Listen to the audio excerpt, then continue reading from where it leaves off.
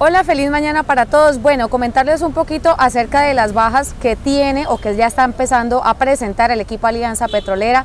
Pues gracias a esta campaña que se realizó en el semestre anterior al 2021, una excelente campaña por parte del director técnico Uber Poder, quien también renueva para continuar trabajando con el equipo Alianza Petrolera.